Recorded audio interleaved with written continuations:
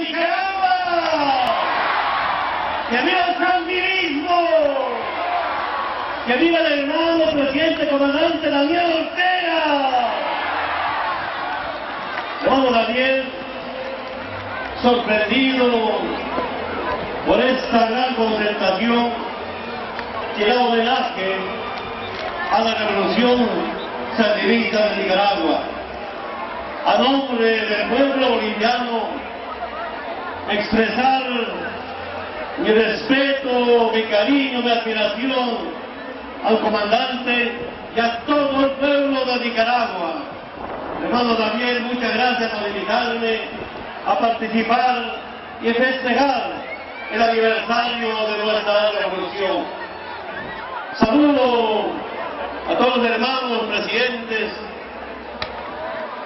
cancilleres, sobre todo un saludo a Foro de Sao Paulo, partido de izquierda, a los movimientos sociales de América Latina. Estoy informado que nos acompaña algunos dirigentes políticos antiimperialistas de Europa, de Asia. Bienvenido a América Latina y muchas gracias siempre por su participación para debatir los problemas políticos, no solamente de América Latina, sino de todo el mundo. Hermanas y hermanos,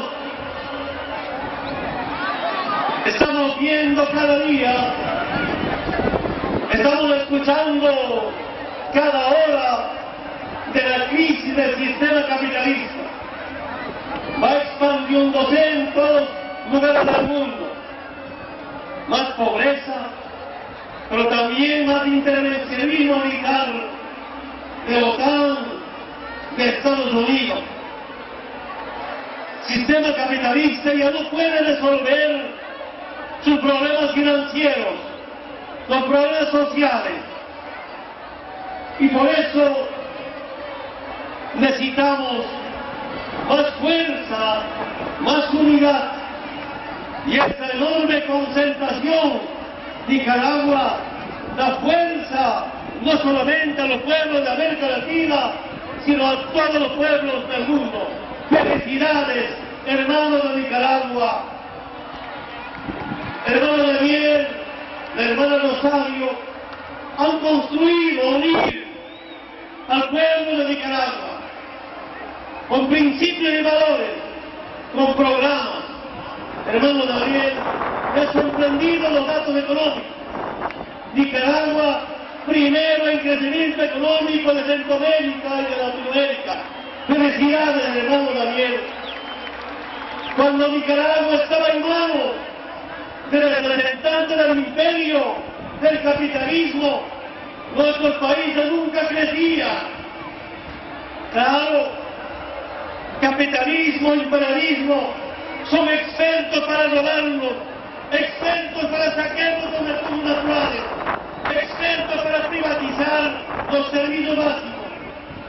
Y ahora, gracias a la unidad y la conciencia de los pueblos, en varios países de América Latina, nos liberamos democráticamente para desarrollarnos, para liberándonos y para garantizar la liberación de nuestro pueblo.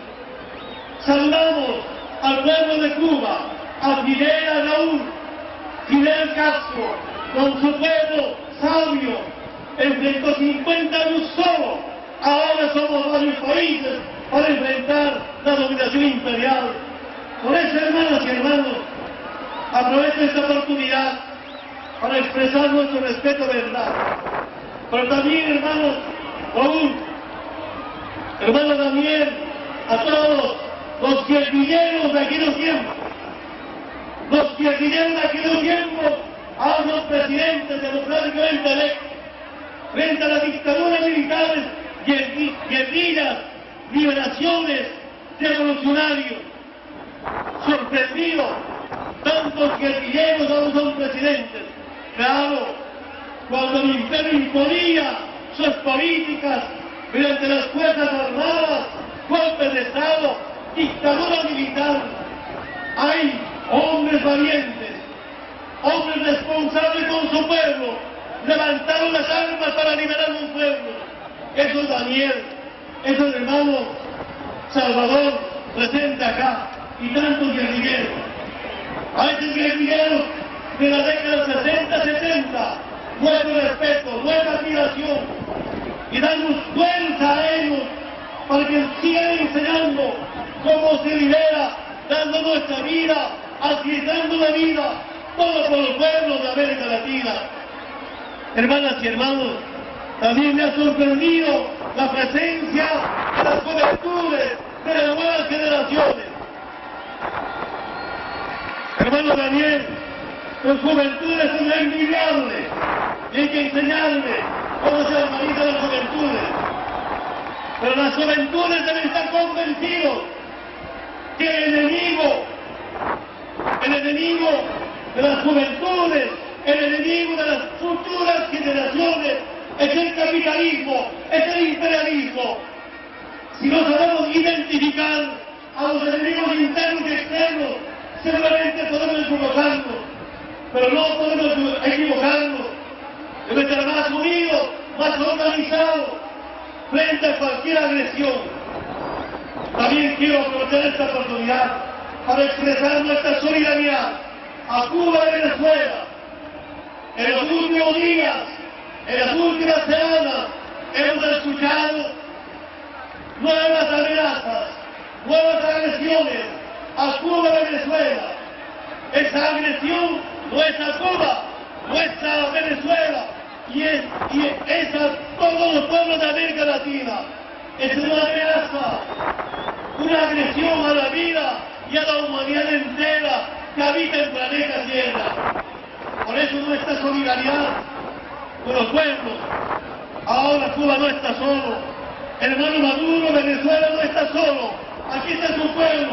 Decirles acá al hermano Maduro, dale duro contra el imperio norteamericano.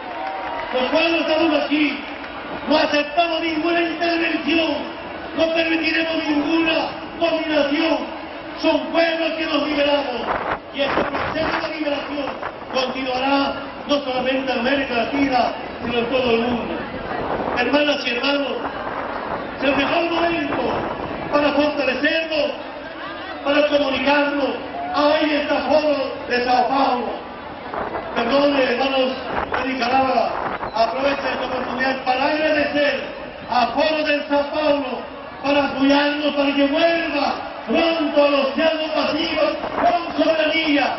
Muchas gracias, hermanos de Foro de Sao Paulo, a todos los movimientos sociales y a todos los partidos de izquierda que piensan en la integración y no en la división de nuestros países.